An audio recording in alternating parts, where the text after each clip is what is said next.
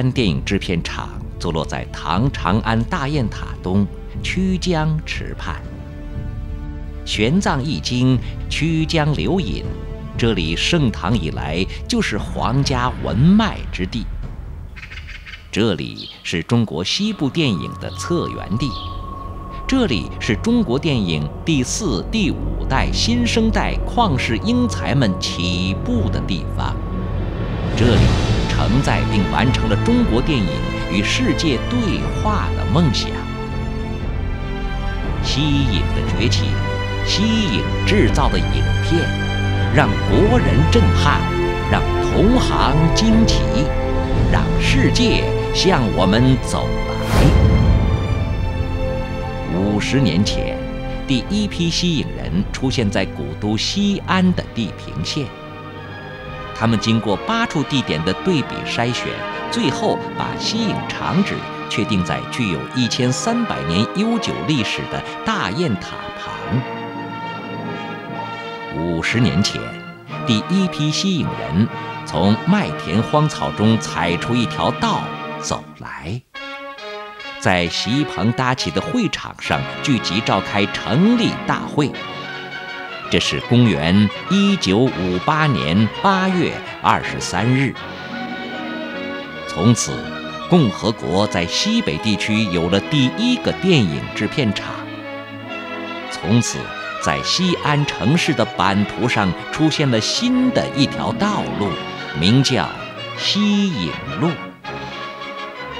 从此，在这块土地上成就梦想、存放他们命运的人，就叫西影人。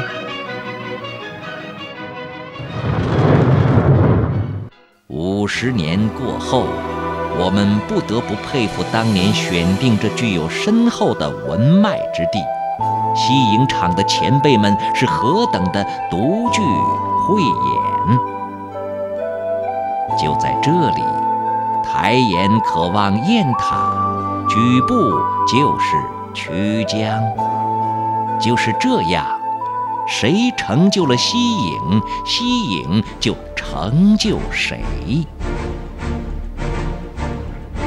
繁花似锦，星光灿烂，一波波的集结与冲击，一次次的迎战与突围。西影人开风气之先，寻民族之源，锻造出中国西部电影的金字品牌。西影厂遍地英雄，高手如云，在中国影坛掀起一股股旋风式的亮点。杨婆婆，杨婆婆，杨婆婆。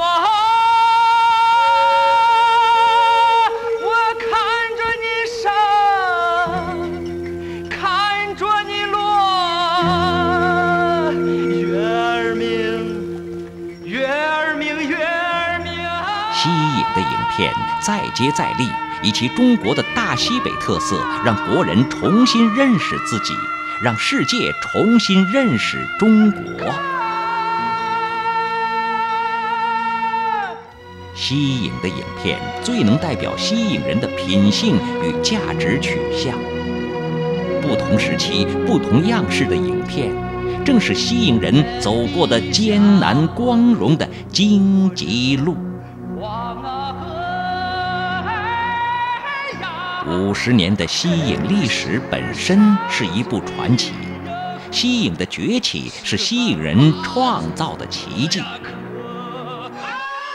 西影人的刻苦努力、敢想敢干、锲而不舍、不安现状的探索与创新思维，最集中、最典型的代表了西北人广阔强悍的精神世界。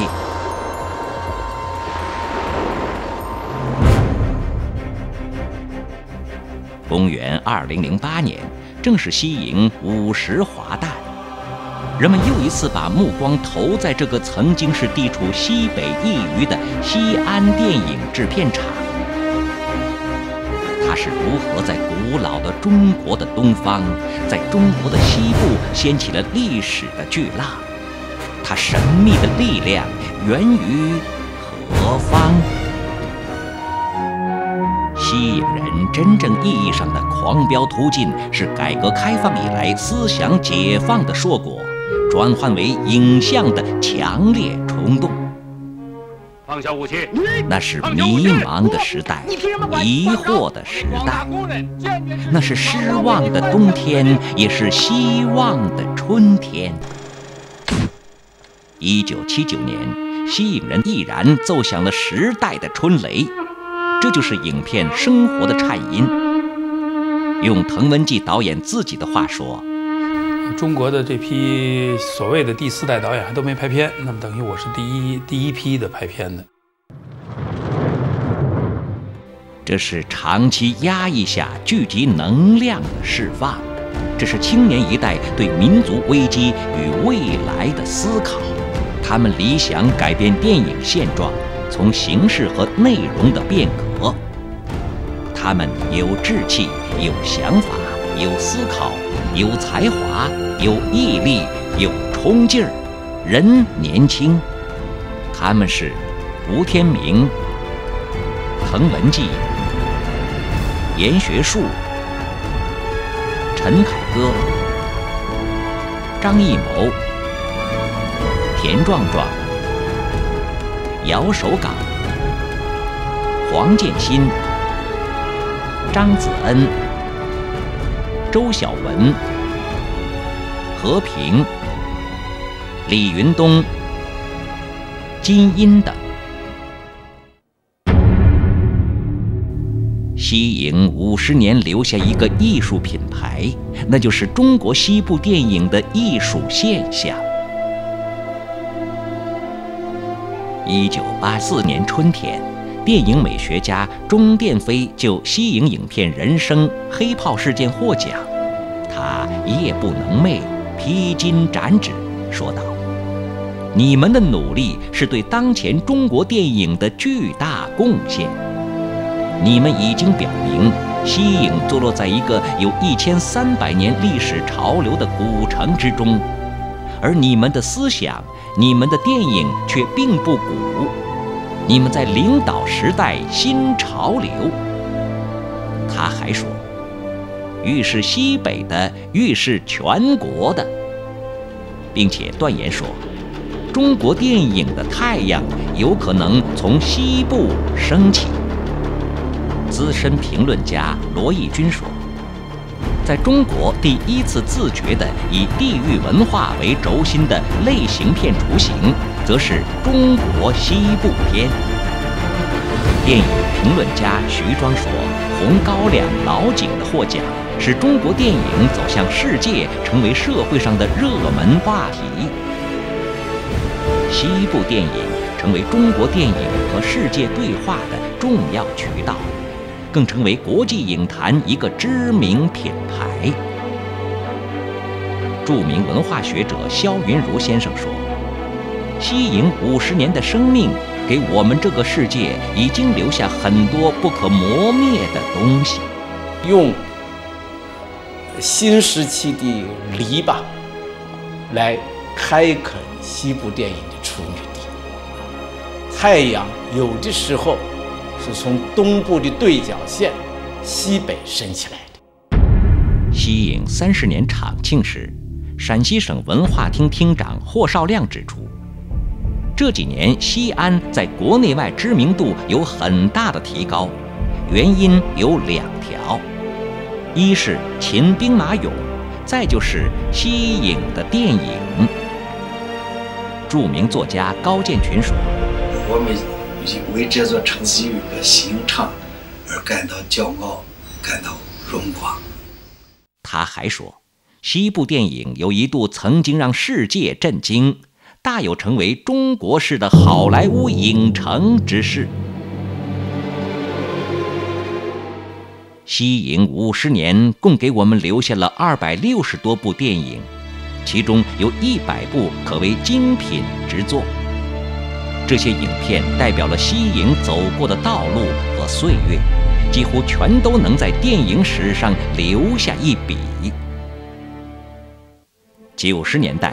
西影影片在全国名列前茅，出口影片占全国出口影片总数的百分之二十五，居全国首位。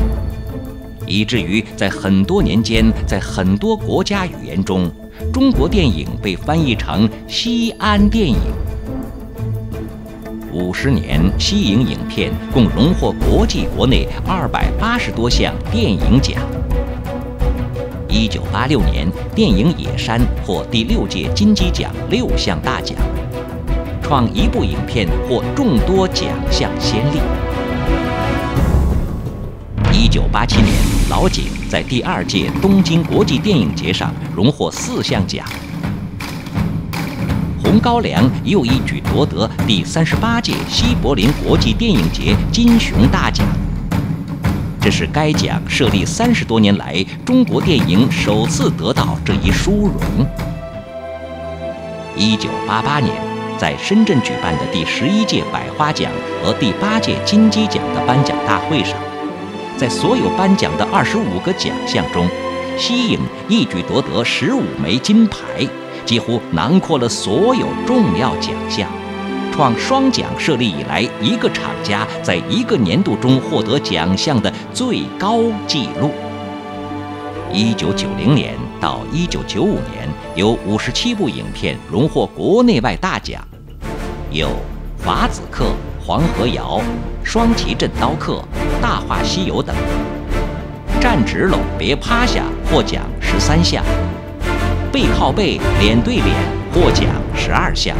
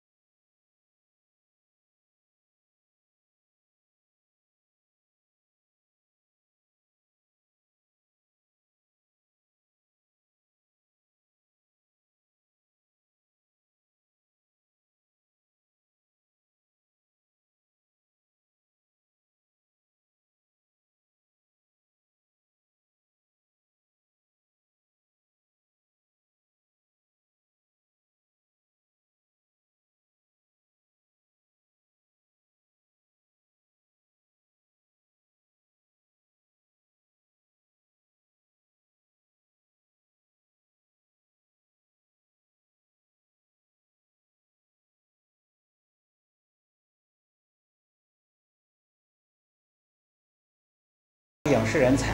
西部影视城对于西影厂的长足发展非常有利，我们也一直在努力着。电视节目经营公司制作了六部精品电视剧，在中央台和地方台受到了一致的好评。用换来和引进的资金投入了西部电影频道和西影影视传媒学院的创建，回收的资金既解决了职工的工资口粮，又全力推动新的发展。近几年，集团的收入逐年增长，由两千零二年的一千五百多万增加到两千零七年的五千八百多万。这一数据表明，多元化的产业结构扩大了集团收入的来源。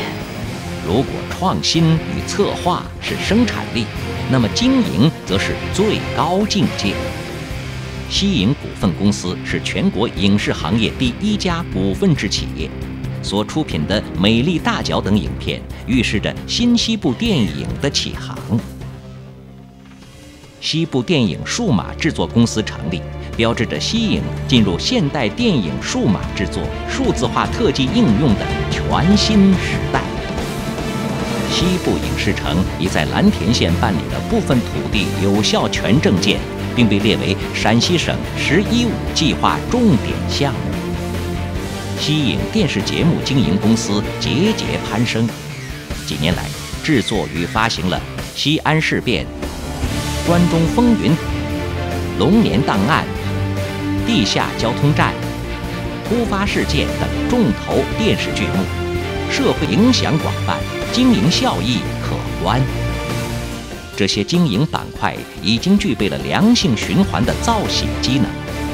电影频道和影视传媒学院率先实现稳定盈利，并在逐渐培养可持续发展的核心能力。就是如此。这些产业水涨船高，助推起电影主业的旗舰破浪远航。二零零二年以来，西影人共投资融资拍摄了电影《天地英雄》《美丽的大脚》《惊蛰》《日出日落》《情癫大圣》《爱意无声》《女检察官》《阿妹的诺言》《老港正传》等多部影片。就是这样。新一代的西影人执着坚定，厚积薄发。六年来，西影人无一日不在前行变革，无一时不在奋发努力。三十年来，西影人和时代一起处于社会转型期风云激变的年代，踏遍青山人未老。生。当作人杰，死亦为贵雄。五十年来，西影人和祖国一样，承载着岁月的光荣和梦想，痛苦和希望。风景这边独好。西影五十年，给中国影视事业造就了一批一流的艺术家。我们希望人们更多的思考，为什么这一方土地会天才成群的产生？在中国任何一个有影响的导演身边，任何一个大片摄制组都有西影人。饮水思源，就是源于西影人筚路蓝缕的血泪奋斗史上独立的思想、精神的自由。是华山之高，是黄河之长。西影人的伟大，是中华民族的精神高度决定了。西影五十年，我们向所有为他洒下汗水、泪水、付出过艰辛努力的人们致敬。我们的感动、光荣、自豪，源于西影的历史。西影为中国、为陕西、为西安争了光，是这个城市的名片，所以一直以来备受瞩目。在西影历史前进的进程中，每到关键的时刻，总会得到党和国家的深切关怀、热情鼓励。二零零三年八月二十三日，中共中央政治局常委李长春专程视察西影，他提出，电影体制要树新风格，创新潮流。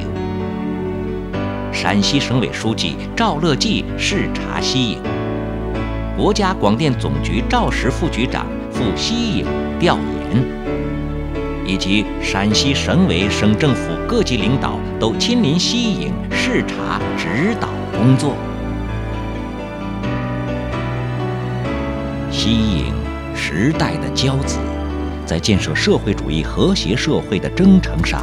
肩负着西部文化强省的重任，以坚持改革开放、坚持先进文化、坚持科学发展观为主旨的新西部电影的崛起势不可挡。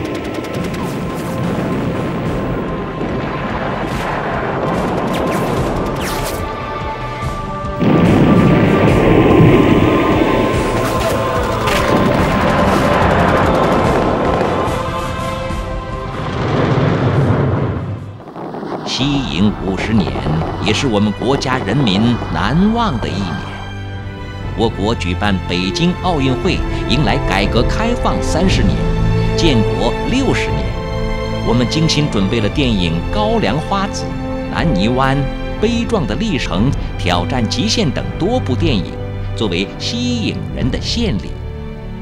零八年，我厂电视剧生产依然喜人，《保卫延安》。《关中风云》《中国商人》《房奴》等一批剧将会陆续与广大观众见面。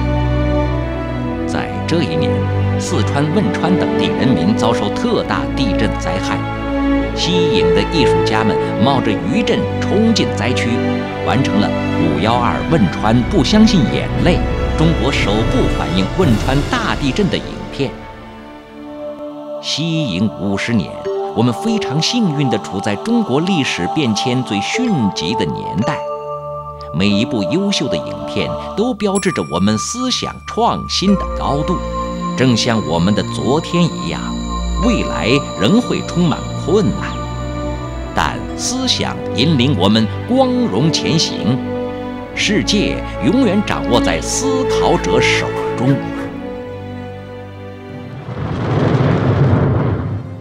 莫道人生不在少，门前流水尚能西。今天，西部电影集团通过转变经济增长方式，坚持机制创新，国营老企业平稳过渡为现代企业，焕发了青春。影视产业经济效益走上了一个良性可持续发展的道路。西部是令人浮想联翩的地方。西部人上过野山，下过老井，种植过红高粱。西部电影是令人神往的电影。今天，面对星光灿烂的新世界，西影五十年给我们最大的启示就是：